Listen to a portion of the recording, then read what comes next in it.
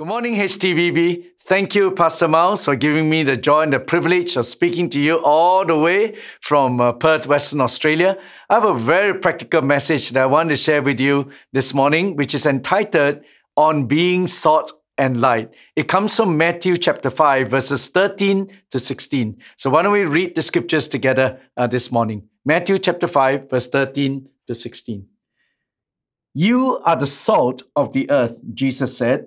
But if the salt loses its saltiness, how can it be made salty again? It is no longer good for anything except to be thrown out and trampled underfoot. You are the light of the world. A town built on a hill cannot be hidden. Neither do people light a lamp and then put it under a bowl, but instead they put it on its stand and it gives light to everyone in the house. Now, in the same way, let your light shine before others that they may see your good deeds and glorify your Father in heaven.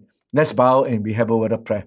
Father, I pray that this morning you open our eyes to behold wonderful things from this passage.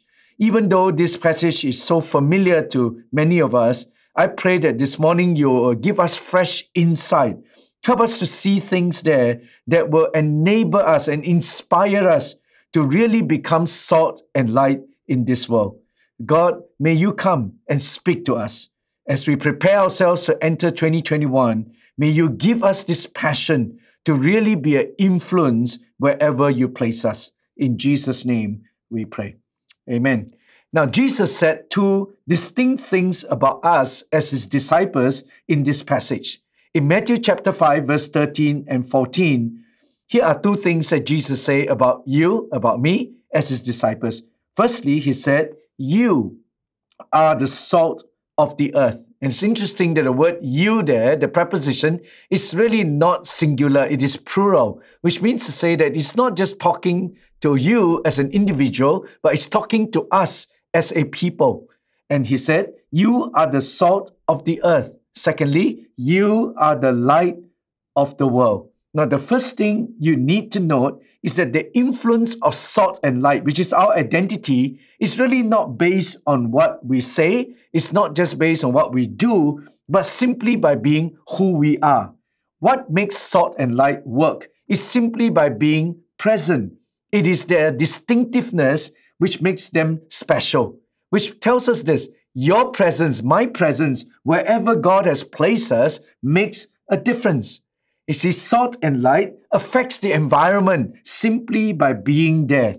So I want to challenge us as we enter into 2021 that we would prepare ourselves to be salt and light by first understanding clearly and contextually what Jesus is saying to us here in Matthew chapter 5. So I propose that we will look at salt and light one at a time.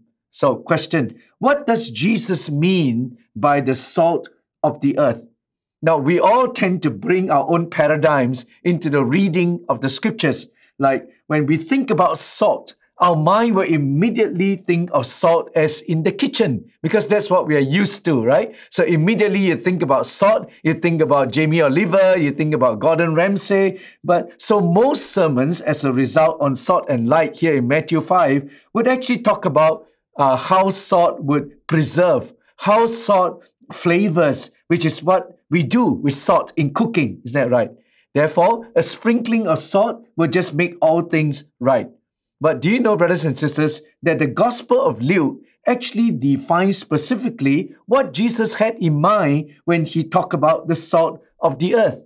And in the context of discipleship, Jesus actually said in Luke chapter 14, verse 34 and 35, listen to this. He said, Salt is good, but if it loses its saltiness, how can it be made salty again?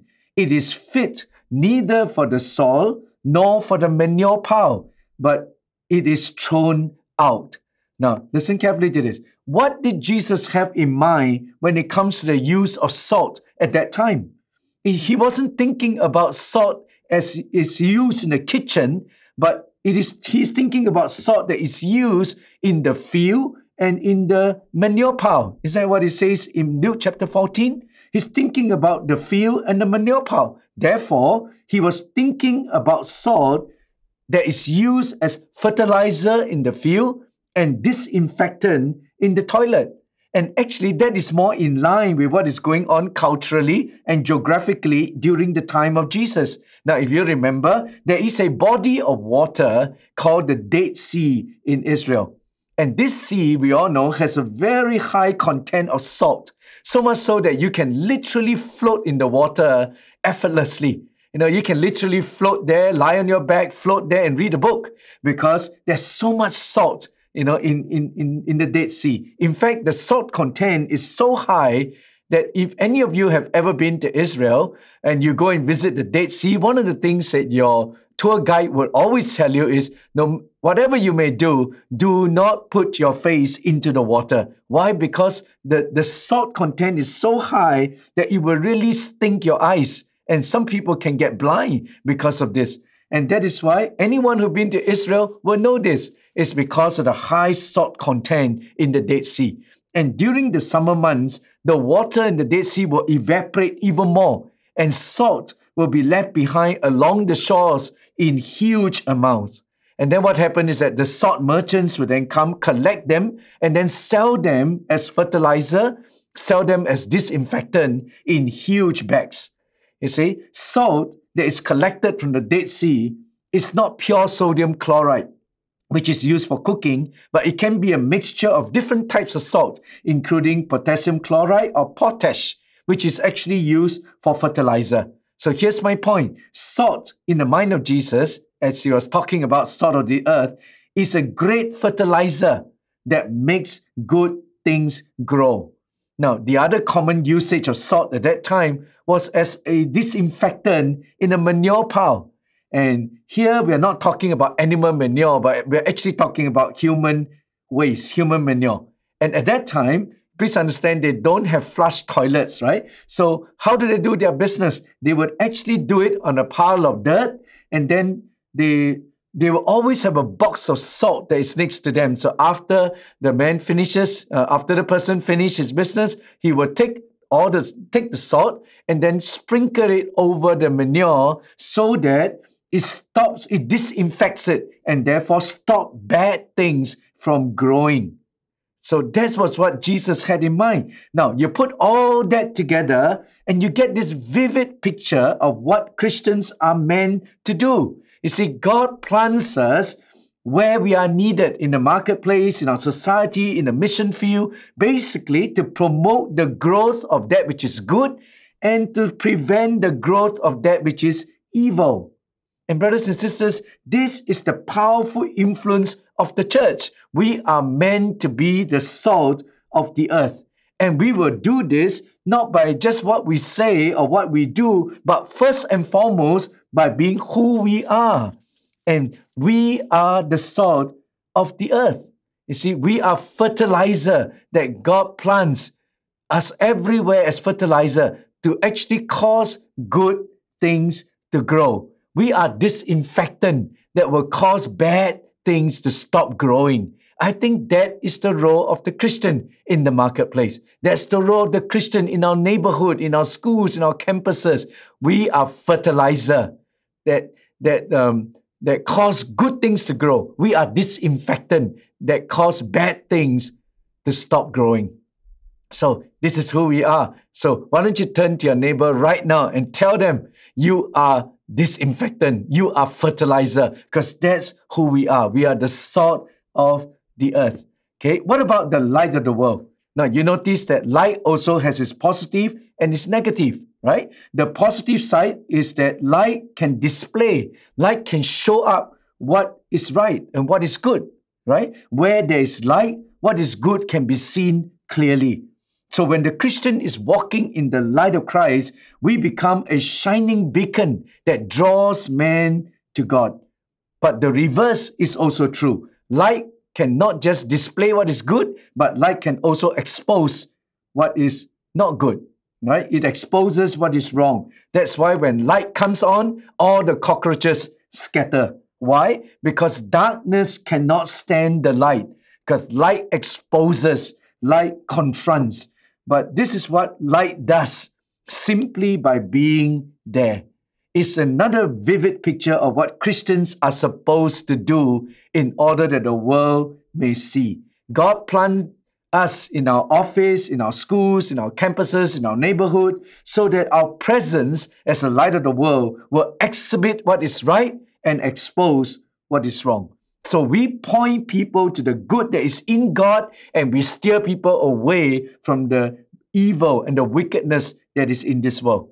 And that is why the Apostle Paul wrote in Philippians chapter 2, verse 14 to 16. Listen to this. Paul says, Do everything without grumbling or arguing, so that you may become blameless and pure, children of God without fault, in a warped and crooked generation.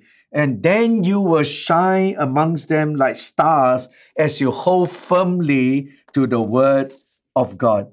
Now, now that you know what Jesus actually meant by the salt of the earth and the light of the world, I think we have a fresh understanding, right, of what it means to be salt and light. We are fertilizer that cause good things to grow. We are disinfectant that cause bad things to stop growing. We are light that exposes that which is wrong and it displays that which is right.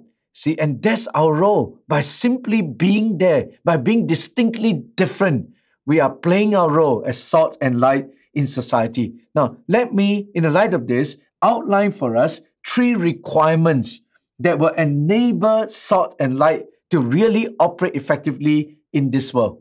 Okay, and I want to outline for you three key requirements. And remember, Jesus was not talking to us just as an individual, because the word you, the pronoun use, uh, is actually plural, right? And it's talking to us as a corporate body. So here are three key requirements for us as a people. Number one is this.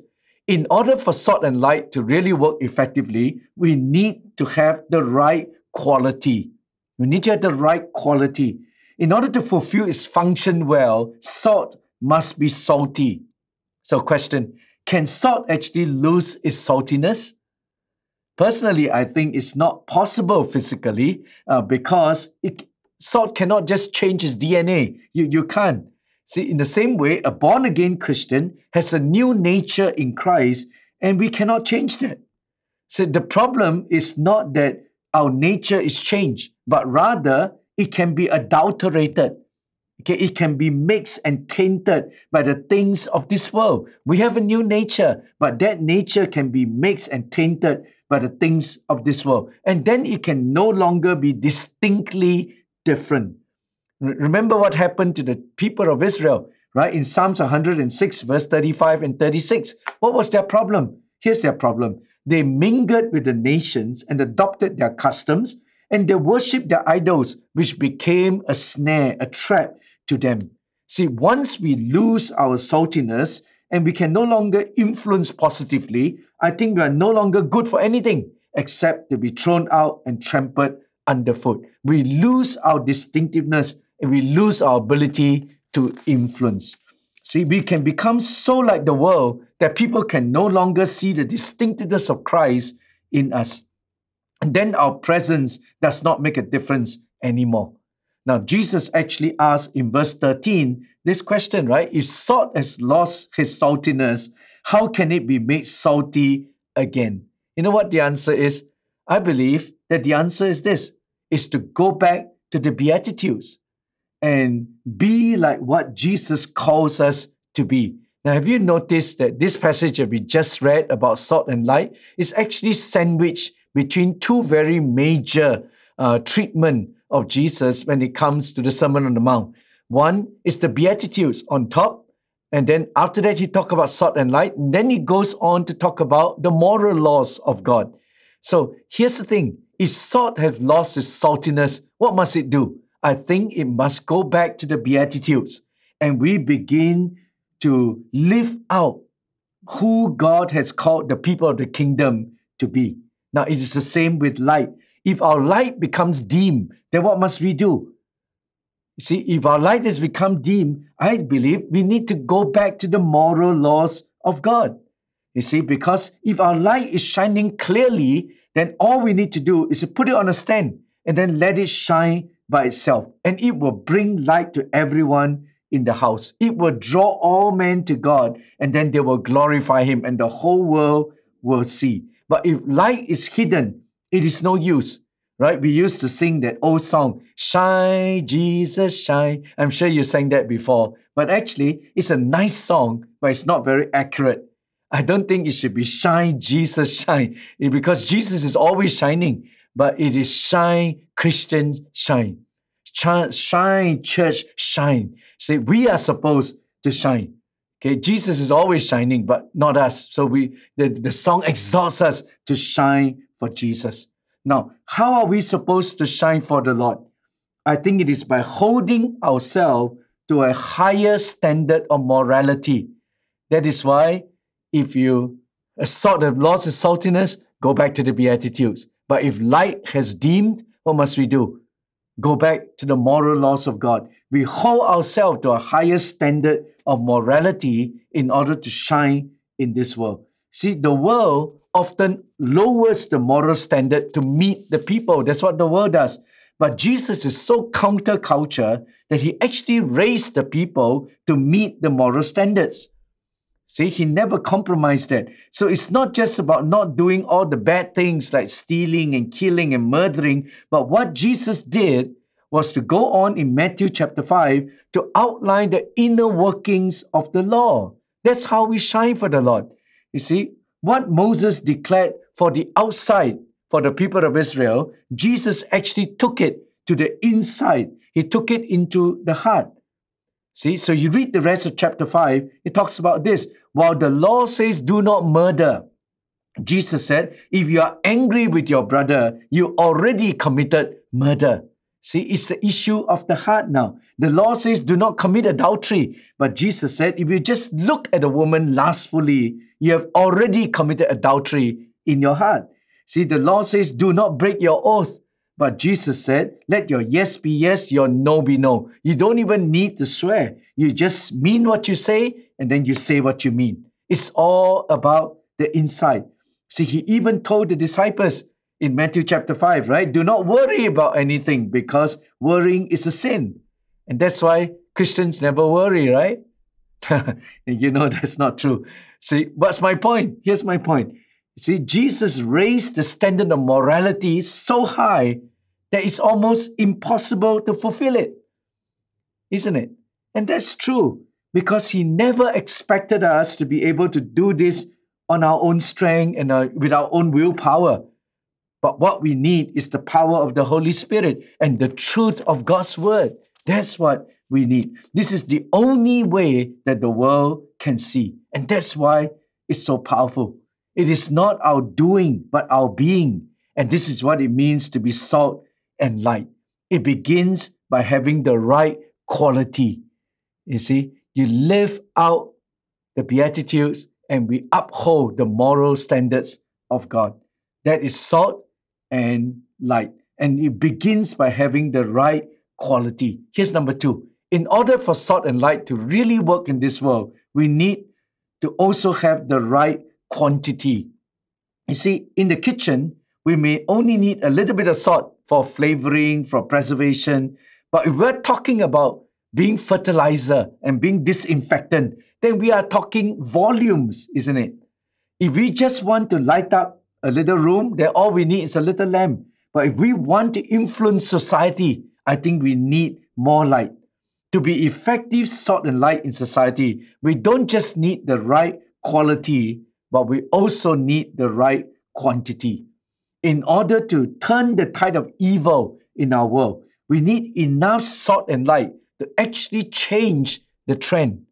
You see, one of the latest social studies that are done by the World Economic Forum have shown that if there is 25% in any gathering that is distinctly different, it can change the social trend.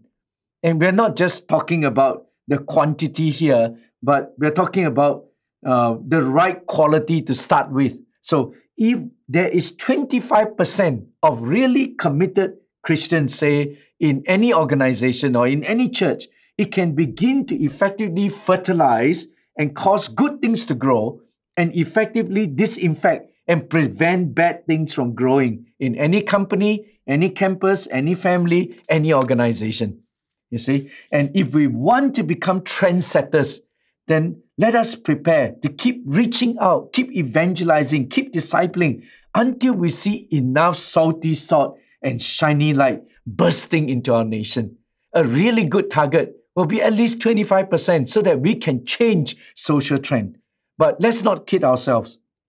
If our churches are simply growing by transferring Christians from church to church, then we will never be able to let the world see. So until we see people saved, until we plunder hell and populate heaven, the needle of transformation has not moved at all. So, brothers and sisters, we need greater quality of salt and light, and we also need greater quantity of salt and light. And here's the third thing we need to be in the right place, right quality, right quantity, and we need to be in the right place. See, if we want to let the world see, if we really want to influence our world, we must make sure that salt and light is found in the right place. You see, salt is not useful as a fertilizer until it is in contact with the earth, right? Um, it is not useful as a disinfectant unless it is in touch with the manure. Now, it is not even useful as a flavoring in the kitchen unless it is sprinkled into the food, right? It must be in touch. Light, if it is hidden under a bed, it does not show the way or expose any danger that is lurking in the darkness. Light must shine into the darkness in order to dispel it. You see, a, a light that is shining into the sun, if you hold a, a candle to the sun, it's actually useless. See, for a candle to be really useful, for this light to be really useful, it must be found in the place of darkness. So, what's my point? My point is this salt and light are meant to function in the world and not just in the church. It operates by being present in this world and in places where darkness prevail. And that is why God did not call everyone to become pastors and missionaries, but He has called many of you here to the front lines of the marketplace to be salt and light so that the world may see. Come Monday morning, many of you are going to be scattered into the marketplaces of the world, and that's where you should be. See, you are going to work tomorrow morning, not just to get a paycheck, but you are there to make a difference in a broken world. Your work is actually a platform for you to function as salt and light in this world. Your work take you to places uh, that your pastors can never go. Your work, you know, put you in touch with people that your pastors may never meet. See, I cannot walk into Citibank tomorrow morning and start preaching, right? But if you work in Citibank, then you have the right to be there as salt and light to fertilize the bank and cause good things to grow.